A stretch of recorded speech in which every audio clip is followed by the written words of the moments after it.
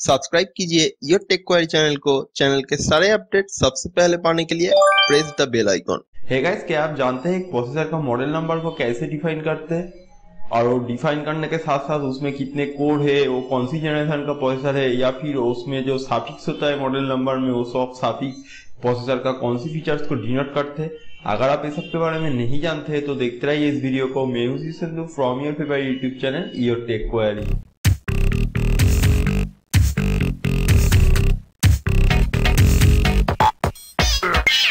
दोस्तों, सबसे पहले जो इंटेल और एम का जो प्रोसेसर होता है, उसका जो मॉडल नंबर होता है, उसे डिफाइन करने का जो रूल होता है, वो डिफाइंड होता है। सो so, दोस्तों सबसे पहले इंटेल के बारे में ही बात करते हैं। तो इंटेल का जो दोस्तों प्रोसेसर होता है जैसे I three I three I five I seven ये सब जो होता है इसे कहते हैं एक्चुअली आपका प्रोसेसर का प्रोडक्ट लाइन और उसके बाद जो फोर न्यूमेरिकल डिजिट होता है उसे काम में लिया जाता है जब मॉडल नंबर को डिफाइन करते हैं। तो सबसे पहले आप कोई भी प्रोसेसर को ले लीजिए। एज ए एग्ज़ाम्पल आप मान लीजिए आपके पास एक I five double six double zero processor है। सो इसमें क्या होता है आई फाइव जो है वो है प्रोडक्ट प्रोडक्ट लाइन और उसके बाद जो फोर न्यूमेरिकल डिजिट आता है जो six five double six double zero तो इसमें जो पहला डिजिट होता है यानी कि सिक्स सो so, जो सिक्स होता है ये डिनोट करता है आपको वॉइसर कौन सी जनरेशन के। और जो बाद में जो थ्री न्यूमेरिकल डिजिट रहता है उसे कहता है एस क्यू लाइन या मॉडल नंबर और कुछ केसेस में कुछ प्रोसेसर का केसेस में आपको एंड में एक लेटर यानी कि एक साफिक्स देखने को मिलता है जैसे I seven six seven double zero के सो ये जो के है ए होता है साफिक्स। तो ये जो है, ये सब साफिक्स का कुछ अलग मीनिंग होता है।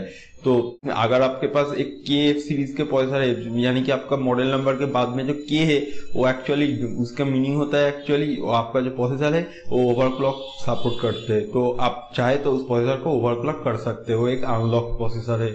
अगर आपके पास एक फाइव जनरेशन का प्रोसेसर है मॉडल नंबर में वन नहीं देखने को मिलता है। जैसे I three six five zero. So इसमें आपको एक फास्ट जनरेशन प्रोसेसर है। सो आपको इसमें सिक्स फाइव ज़ीरो के बदले में आपको वन सिक्स फाइव ज़ीरो नहीं देखने को मिलता है। तो अगर आपके पास फास्ट जनरेशन का प्रोसेसर होता है तो इंटेल उसी केसेस में मॉडल नंबर में वन को नहीं डालते। तो ओवरऑल जो होता है दोस्तों एक्चुअली जित नंबर जितने ज़्यादा होंगे तो आपका प्रोसेसर उतना ही फास्ट होंगे। बट कभी भी ऐसा मत कीजिए जो आपके पास एक पेंटियम फोर के प्रोसेसर है फोर्थ जनरेशन के और आप, आपके पास एक I five second generation processor है तो आप ये मत समझे जो आपके पास जो Pentium series fourth generation processor है वो आई फाइव से ज़्यादा अच्छा परफॉर्मेंस देंगे।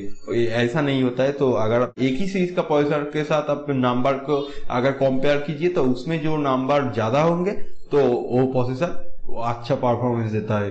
तो यही होता है दोस्तों और आप बात करते हैं दोस्तों ए के बारे में। तो ए के प्रोसेसर के क्षेत्र में दोस्तों जो रूल होता है वो कुछ अलग है क्योंकि एएमडी के बहुत सारे सीरीज़ के प्रोसेसर है जैसे Sempron Athlon two A series E series और सी सीरीज़ का जो मेन स्ट्रीम लैपटॉप और डेस्कटॉप सीरीज़ का जो प्रोसेसर है ये अभी भी मिल, मिलता है। और साथ साथ आपको मोस्ट पॉपुलर ए सीरीज़ जैसे एफएक्स सीरीज़ हाल ही में लॉन्च हुआ है राइजन सीरीज़ तो बहुत सारा सीरीज़ है। तो इसमें जो बेसिक जो रूल है वो होता है आप मान लीजिए आपके पास एक F X eight three five zero processor है तो इसमें क्या होता है एफ़ एक्स जो है वो तो प्रोडक्ट लाइन है उसे छोड़ दीजिए। अब बाद में जो एट थ्री फाइव ज़ीरो आते हैं तो इसमें जो एट होता है वो एट का मतलब होता है आ, वो जो प्रोसेसर है उसमें वो एक ऑक्टा कोर प्रोसेसर है और जो थ्री होता है बाद में जो थ्री आते हैं वो आपको प्रोसेसर का जनरेशन को डिनोट करते हैं। यानी कि थ्री मतलब वो एक थर्ड जनरेशन का प्रोसेसर है और फाइव ज़ीरो बाद में जो आता है वो एस नंबर या मॉडल नंबर आप जो भी कहे।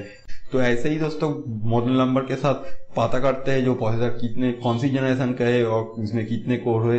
तो उम्मीद करता हूँ दोस्तों आपको एक वीडियो अच्छा लगा। अगर आपको इस वीडियो अच्छा लगा तो please like share and comment करना। और आपने अभी तक हमारे चैनल को सब्सक्राइब नहीं किया है तो प्लीज़ सब्सक्राइब भी कर लीजिए। क्योंकि हम हर दो तीन दिन में लेके आते हैं ऐसा ही कुछ tech related video so thank you for watching this video उम्मीद करता हूँ अगले वीडियो में फिर मिलेंगे।